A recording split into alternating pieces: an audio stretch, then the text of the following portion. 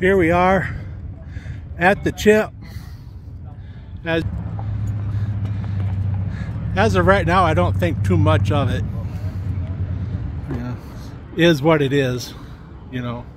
Road coming in really sucks. I'd rather take a car down this road than a bike any day.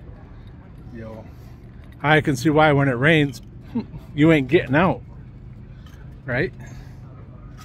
So, Dark, what'd you think of the road? That's good.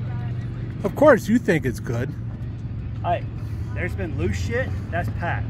It's not that bad. Now, see it getting wet, that'll be a different little story. Take your time on it. Right. Can't do more than 25 on it anyways. Freaking Popo was sitting there. that was true. What'd you guys think of the road coming in? Sucked. Been on worse. I've been on better. Wouldn't want to do it again. Right? So there you go, guys. Consensus, it sucked.